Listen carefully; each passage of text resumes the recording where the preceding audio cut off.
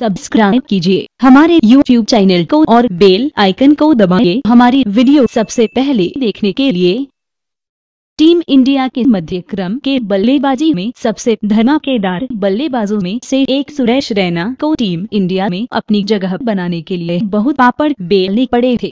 भले आज वह टीम इंडिया का हिस्सा नहीं है, लेकिन अभी क्रिकेट के जानकार लोग मानते हैं कि वह टीम में वापसी कर सकते हैं और उनमें बहुत क्रिकेट बाकी है।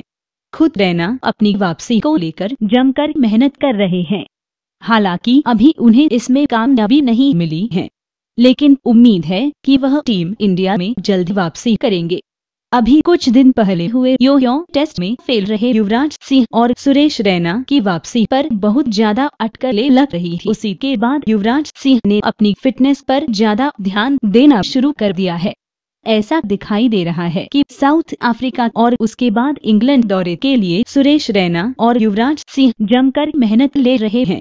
युवराज सिंह अपना ज़्यादा से ज़्यादा वक्त व्यायाम और फिटनेस पर दे रहे हैं। इसी वजह से उनको टीम में जगह मिलने की संभावना बहुत ज़्यादा बढ़ गई है। और वैसे देखा जाए तो चौथे नंबर के लिए कोई बल्लेबाज भारतीय टीम के लिए अच्छा नहीं कर पा रहा है।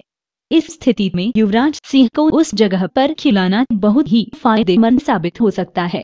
और भारतीय सिलेक्शन कमेटी भारतीय टीम के लिए सारे पर्याय 2019 के विश्व कप के पहले ही आजमा कर देखना चाहेगी। दोस्तों, अगर आपको लगता है कि सुरेश रैना और युवराज सिंह भारतीय क्रिकेट में खेलने चाहिए तो हमें कमेंट में ज़रूर बताएँ और किस नंबर पर खेलने चाहिए, वह भी हमें ज़रूर बताएगा। इसी तरह की बेहतरीन खबरों के लिए हमारे चैनल को लाइक शेयर और सब्सक्राइब कीजिए।